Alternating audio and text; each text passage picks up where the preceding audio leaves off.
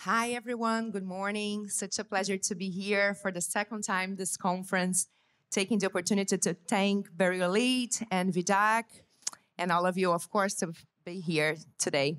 So let me introduce our panelists today.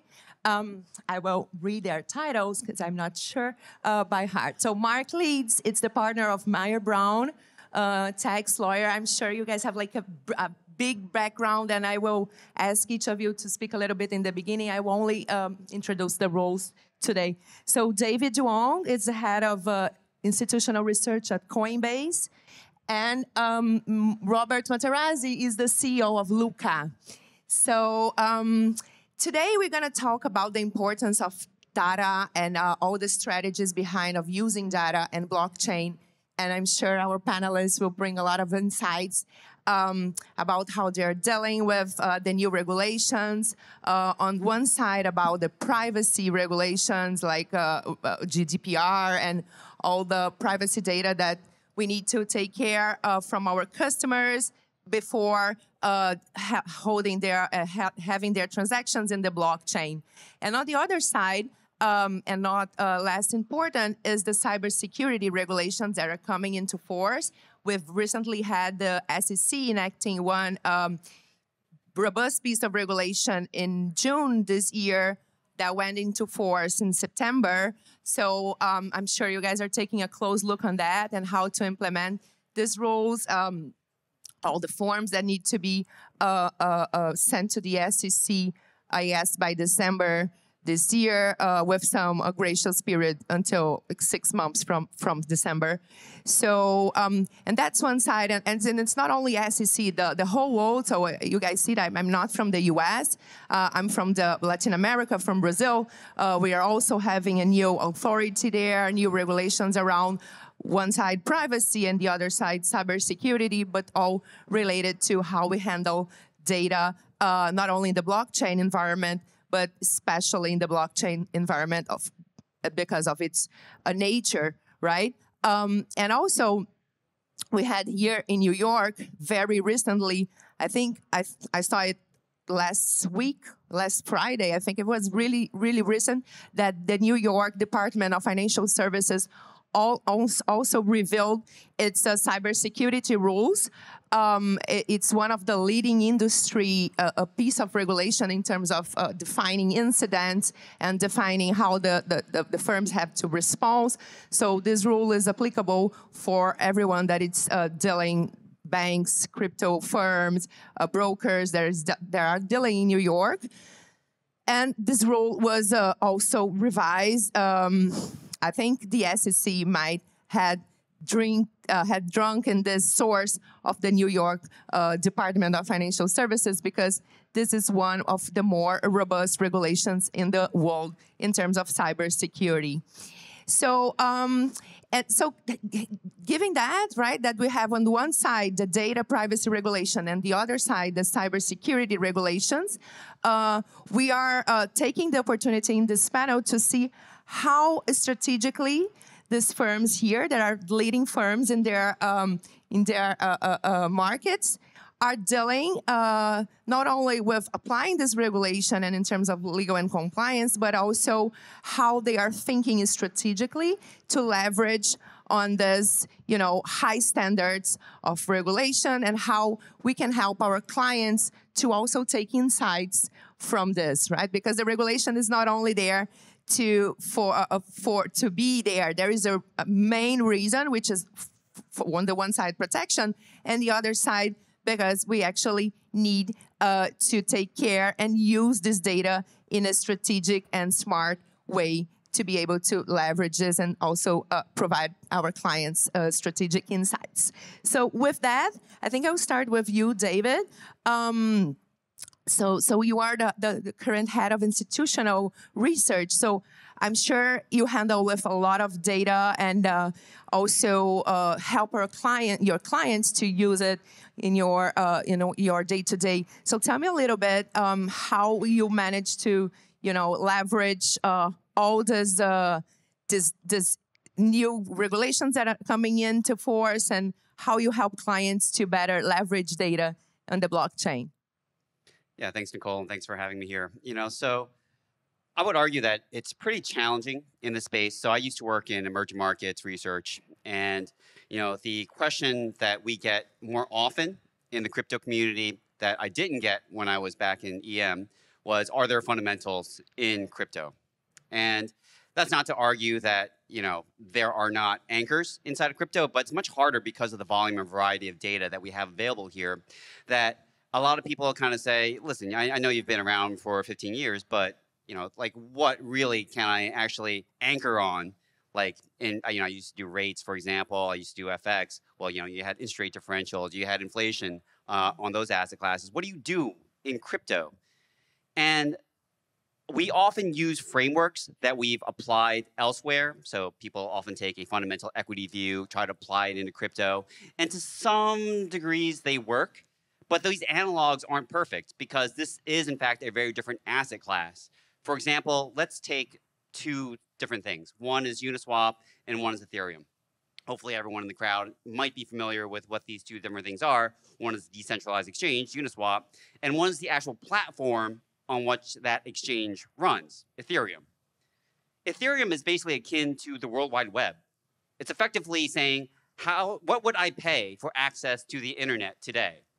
Like we don't have to do that because, as you know, the internet is free, but we pay for the services on that, the applications on that platform, right? The internet has your Amazons, your Facebooks, your Googles, and to varying degrees, you either pay with real money or you pay with your data. Uh, well, Ethereum is basically that. How do you value that? How do you value that access? It's probably worth a lot because can you imagine if you didn't have that in your lives today? Well, go back to 1995, and you could probably imagine it very easily because at that time, people were criticizing, well, why do I need to replace uh, my, my radio with a podcast? Why do I need to replace my TV with YouTube? Um, these things are easy to imagine today, but back then, people were all saying very skeptical things about it. So this is what's hard about data in this in the crypto industry because within each of these kind of sectors and platforms, they all rely on different sets of data. So it's not the fact that the data itself isn't ubiquitous. We have a lot of things. We have on-chain data. We have transaction data, things that sit on centralized exchanges, decentralized exchanges, the transactions of what people are broadcasting across the decentralized exchange and saying, I want to buy or sell this. Everyone is aware and familiar with it. So you can actually go and actually and, and decide what is relevant and what's not. The problem is with so much data, what do you do? And that's where I think the, the big challenge is inside of crypto. Even within a certain element, say something that we have something called total value locked, which says how much is actually, how much money, real dollars, is sitting on a platform right now. But what is the makeup of that? Is it actually converted into straight up dollars, i.e., stablecoins? Or is it a token that maybe I'm a little bit more skeptical about. So that composition really matters, and you need to kind of differentiate it on a case-to-case basis. Got it. Yeah, that's that's very interesting, and also like um, th- that's the the thing that that that's never uh, like a, a, bulletproof solution. That it's always evolving and always uh, uh, um, having your applica- applications, right? Um, so, uh, um, Robert, as the CEO of Lukka, um, which is a soft, tell us a little bit about Lukka before, sure. and then I uh, will start. So, we're a data company, and we have a, um, several different types of data products that solve different pieces of either data management or, or we offer data products um, as a service. So, pricing data, qualitative data, security master related data and then our software manages all of the data that was that was really just mentioned because it's a it's a lot more data than we would tr traditionally have to interact with, and it's been um, accumulating over over a decade, really without any standard setters involved. So it makes it very tricky to make the data usable, and so we've developed an expertise in in making all of this crypto transaction pricing and other data usable across all of our different products. Right. So so how you were seeing. Um, does uh, the the blockchain and this use of robust data in your in your market uh, disrupting the financial markets and how you you see it's uh, like evolving in this uh, scenario? Yeah. So um, as as David mentioned, there's there's a lot of different data to use, and a lot of what we're used to relying on in traditional markets just simply isn't doesn't exist, or there's there's too many options. Um, for example, determining fair market value for an actively traded crypto asset is is very tricky. We developed one response to that problem that we call Lukka Prime. Um, Coinbase is a customer of it. They also have their own data. Most people that don't know data intimately don't understand that relationship. You know, Coinbase as a, a large publicly traded centralized exchange requires different types of data in order to operate its business. And sometimes their own pricing data isn't necessarily the only solution that, that they need to rely on. Um, just to give one, one example. And now we start mixing DEX's uh, on-chain data, off-chain data, collecting it, normalizing it becomes very, very challenging.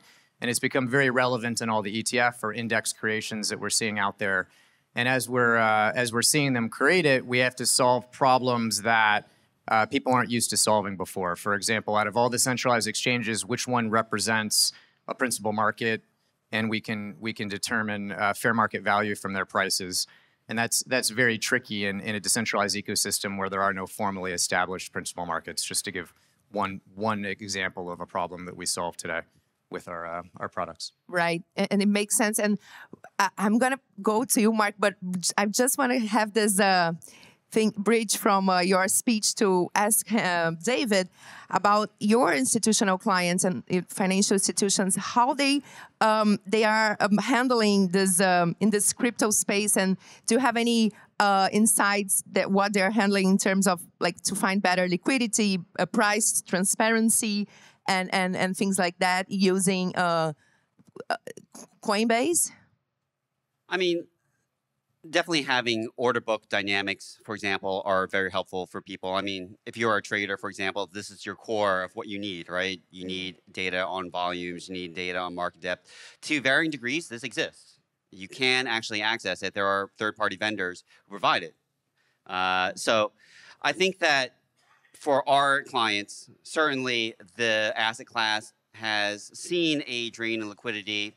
That's not altogether, you know, different from what we've seen in traditional markets, right? A lot of this has to do with what's going out in the world in terms of central banks actually tightening uh, their own balance sheets and uh, actually trickling down and affecting pretty much almost all asset classes.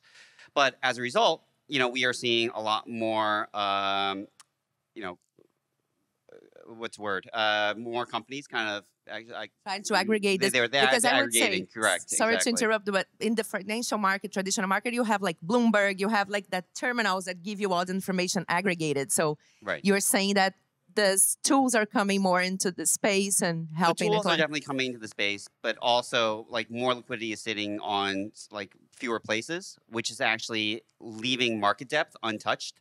So market depth has actually been fairly decent which means price discovery is actually also doing very well. But yes, as far as the tools themselves, they are also like broadening out very rapidly. I mean, in the last two years alone, I would say the number of platforms where you can actually access this stuff uh, is you know ubiquitous. But the challenge is that it's there, there's so many vendors in a lot of ways. They are kind of saying like you're you're kind of trying to figure out who offers you the most in terms of getting not just the uh, centralized exchange data, for example, like the, the trading data, but also the on-chain data itself, because you really need the combination of both to really make a real investment decision. Absolutely, yeah.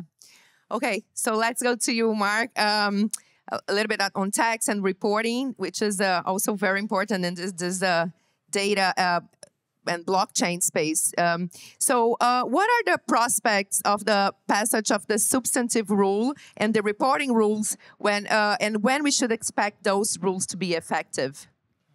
Well, the most important thing to know is that in the past month, the Internal Revenue Service, in response to a demand from Congress, has proposed reporting rules for cryptocurrency and other digital assets that are uh, incredibly comprehensive, that they um, will move us from a situation where we've had no reporting whatsoever to essentially putting um, each of the uh, digital exchanges um, into a position where beginning in 2025, they're going to have to report price data, basis data, and all the information regarding their customers the rules that came out were almost to be honest, laughable in terms of how comprehensive they were and in such a short period of time in which uh, the exchanges have to uh, comply.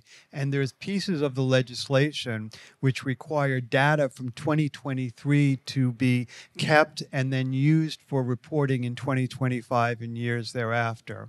The Internal Revenue Service itself, I think it's fair to say, when they came out with these rules, understood the magnitude and the watershed of change that they represented.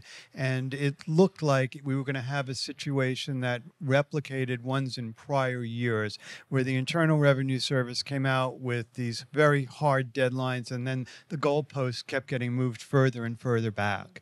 When it looked like that was about to happen, Congress actually, for the first time, has stepped in and they said, not only do we not want these rules postponed, we think that 2025 may be too late that we enacted, we enacted the mandate for the rules for 2023, and we really didn't give the Internal Revenue Service the right to postpone the rules. And what it's going to do is it's going to either force a significant number of exchanges to stop taking U.S. customers or stop taking U.S. customers that are acting from within the United States and can be traced back here, right. or they're going to result in these mini exchanges that get formed in the United States because the larger exchanges won't have the ability ability to comply within the period of time that's uh, being uh, proposed by these by the by the rules.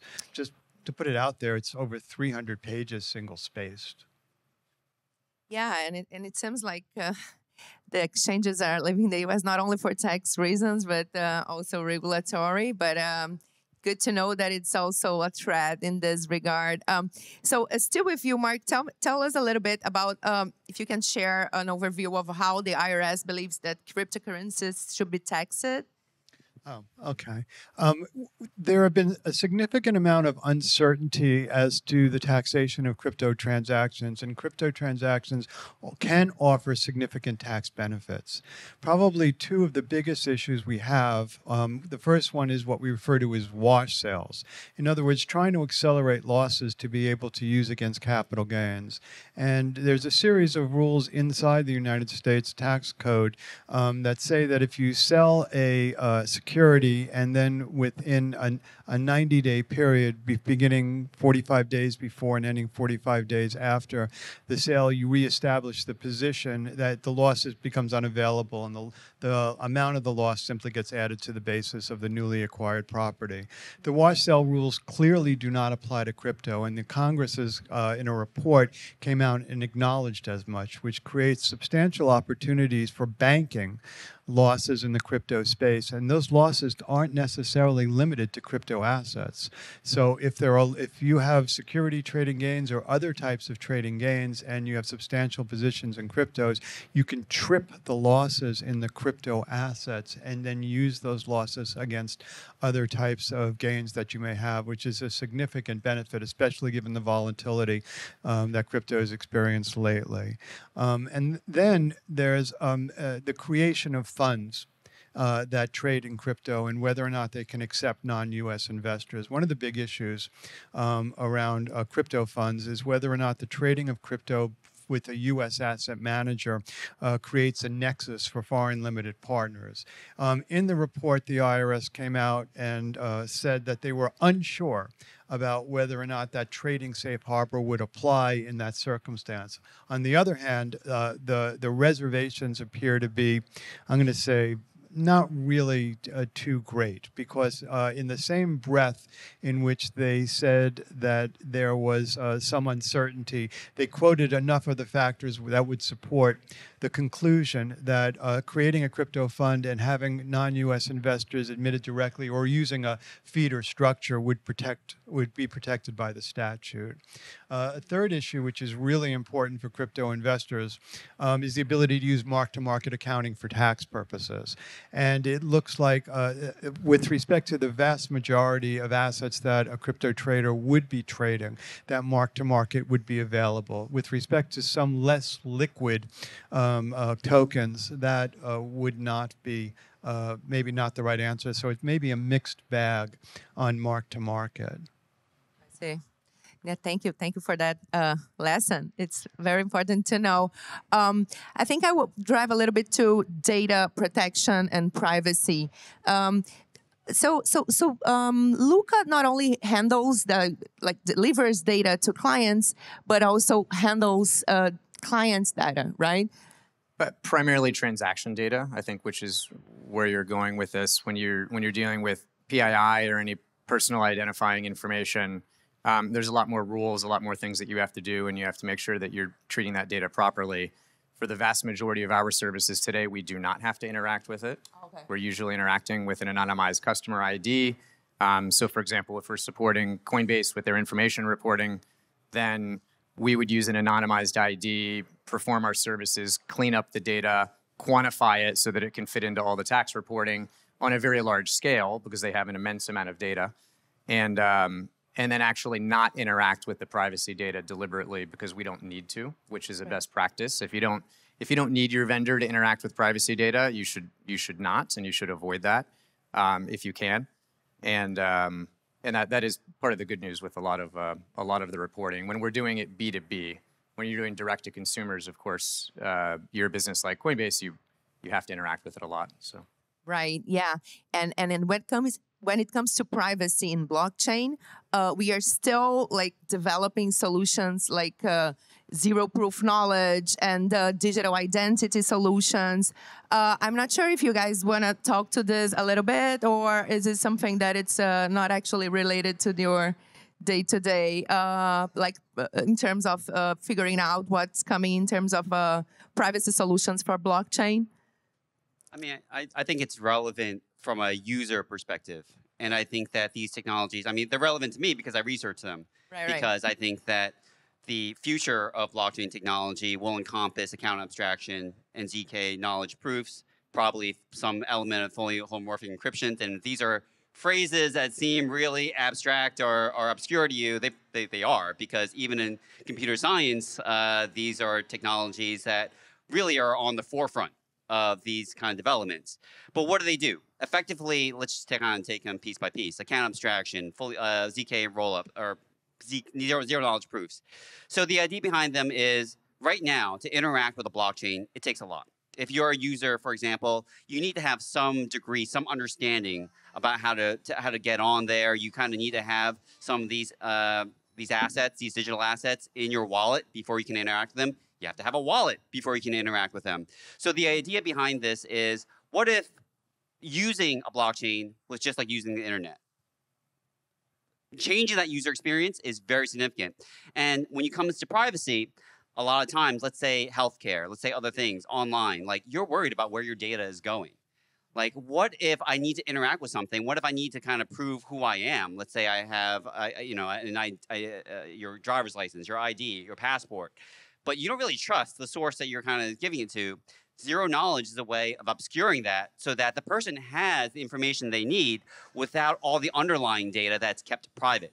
That is the experience, that's the user experience that we're trying to move towards, which actually shows the real use case behind blockchain technology that's very different from the existing internet 2.0 that you are we're all familiar with. So like this is kind of where we're going when we're talking about privacy enablement on blockchains.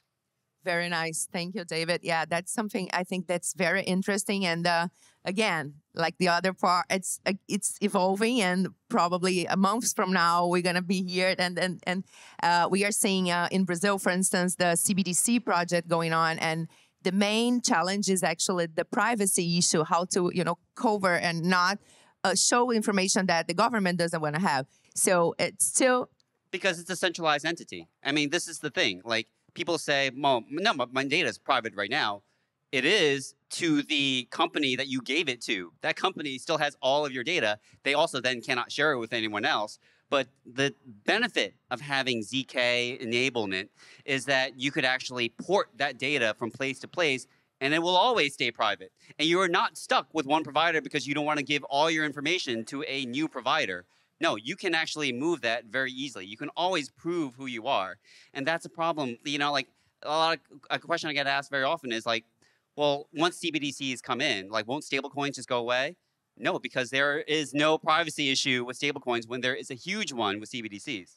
Perfect. Yeah, and also I like to to think of that on how uh, the, the, the, the, sovereign of the data to the person, right? The person ha- in, gets empowered to have it your own data in this new uh, digital identity world that we are getting there. We are not there yet, but we are getting there.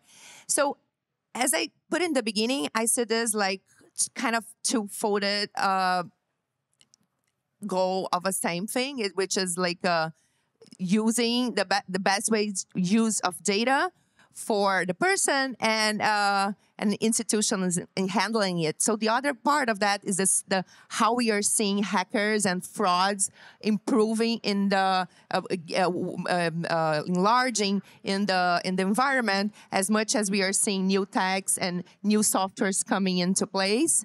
Um, it's not that the hackers are not being able to uh, uh, walk with us in kind of the same uh, speed that we develop tools, right? So, as and also we saw you know new rules coming into place. So I wanted to listen to you, uh, maybe you both, and of course Mark, if you want to complement this too, uh, how you are um, in your organizations improving your cybersecurity policies and dealing with all this uh, increase of uh, frauds and hackers and, and cyber attacks?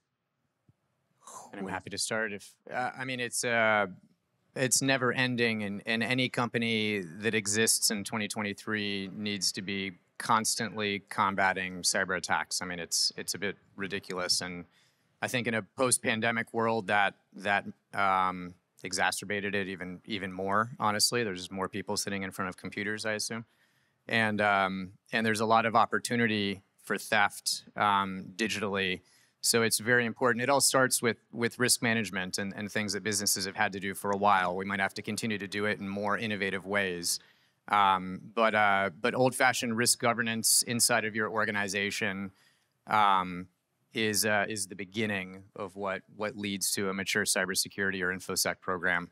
And, uh, and I think all types of businesses need to manage this. I mean, even my own personal information, it's, it's almost a, a joke how many times my social security number and date of birth has been part of a breach um, from so many different businesses. I don't even consider it PII or, or private at all anymore.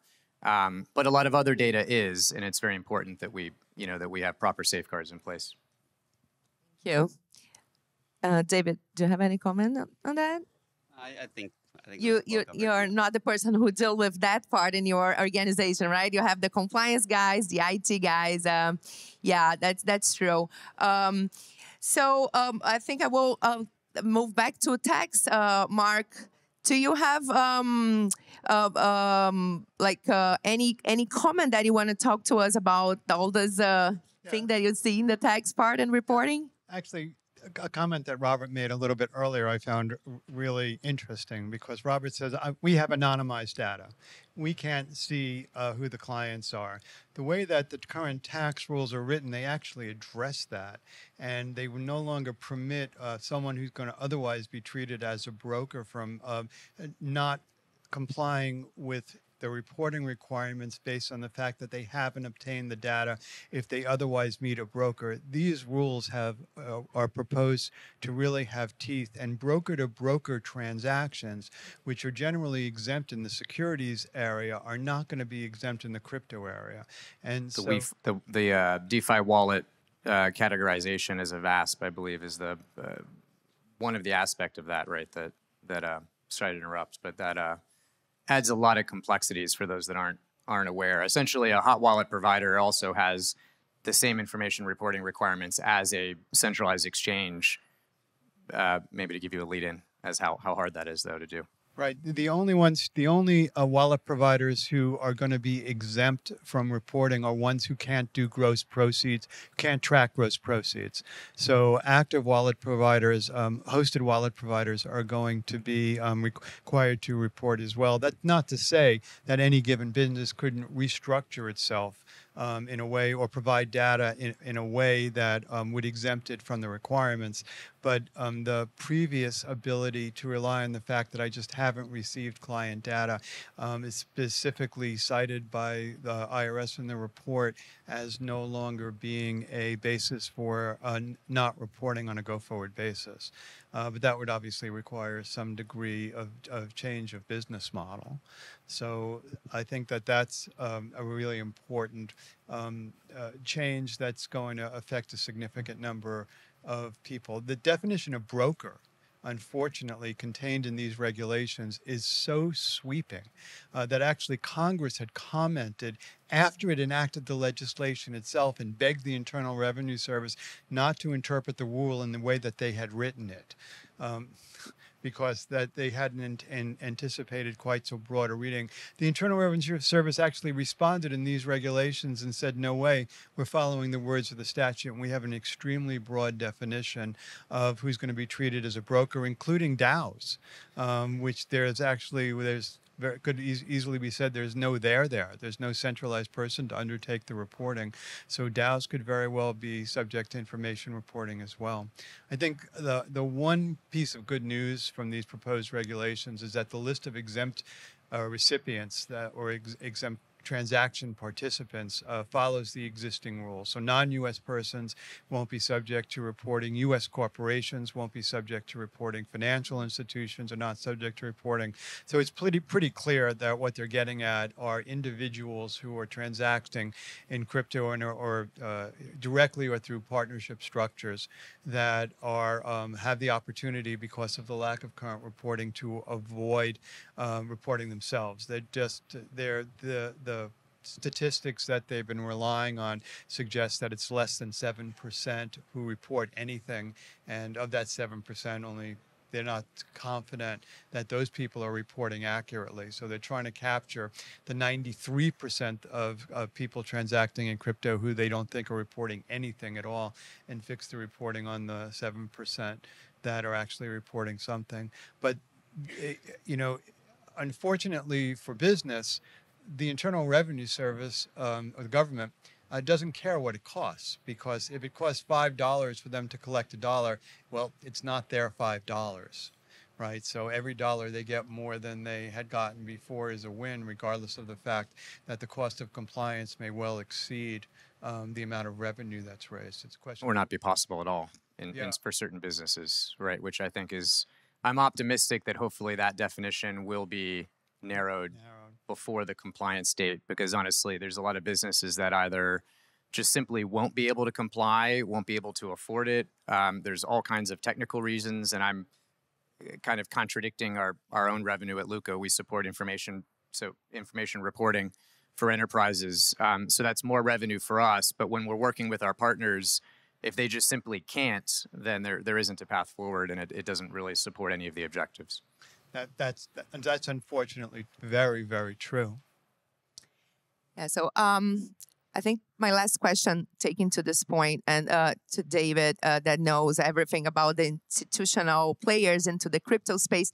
Do you think this lack of clar- uh, clarity, not only in the regulatory space, but also for the tax reporting uh, requirements uh, and definitions, does this part also scare scary the, your clients to the crypto world, or you see them having a good uh, amount of comfort in the zone? So, the way I would characterize this is there's an adoption curve, right? I would say that for most people, if it looks kind of like this, for example, and I'm not doing a great job of this because I don't have a board and I'm using my hand, uh, but most people don't necessarily want to be on the front part of the curve because that's scary because that's where the most uncertainty is. Probably where you get the most upside, but you take a lot of risk for that. And as investors, it's always not just about the reward, it's about the risk that you're taking. So a lot of people don't want to be at the end because by that point, all the alpha might be gone at that point. You want to be in that middle part of the curve. I would say that we are we are gradually moving into that middle part of the curve right now. And that's a place where I think a lot of institutional investors are actually very not say happy, but looking forward to kind of being on. The issue right now is that they're looking to each of their peers and saying like, "What are you doing? What are you doing?" Like, uh, like they they want they don't they don't want to be the first mover per se, yeah. but they definitely want to be there to capitalize on that change because this is what regulatory clarity looks like. It's not clean. It's not pretty. You don't get like tax rules that you that you that you want immediately. These things take time. But if you are in the place where the sausage is getting made, this is where a lot the most money is getting is going to be uh, had as well. Sounds good. Well, I saw there we have less than five minutes, and we wrap this panel up. Um, it was a challenging uh, job to uh, put all these broad aspects together. So if I miss anything that you guys wanna just compliment and the message that you wanna leave with the audience today, please. We have our final minutes. Sure. I just say that in, in the spirit of, of data and this this topic, we uh, um, any businesses that are just starting to adopt it. I think most in the audience seem like they're they're very well underway, but don't underestimate the the challenges or the importance of clean, clean, reliable data at the end of the day, and that's it's it's very tricky. Um, and when it comes to the information reporting requirements, like we're seeing, hopefully it evolves for the better. But regardless, it's a very short timeline to even start complying um, if, if you start today, which I know is what we're telling all of our customers as well with, with all the partners that support that. Right. Thank you. I'd also I'd just like to point out um, I've left a couple of white papers that my firm has prepared um, on the bar in the back. So if anyone's more interested in the tax topic and uh, you're not otherwise seeing it in the Lukka Library, um, uh, you're welcome to take copies of the white paper. Thank you, Mark. Um, the only thing I would leave you with is I moved in the space from traditional finance because I thought that the how much data would actually be out there would actually make my job easier. It's it's going quite the opposite. But I will say this has been one of the funnest challenges I've had in my career. Good. Yeah, I think I, I agree with this part too.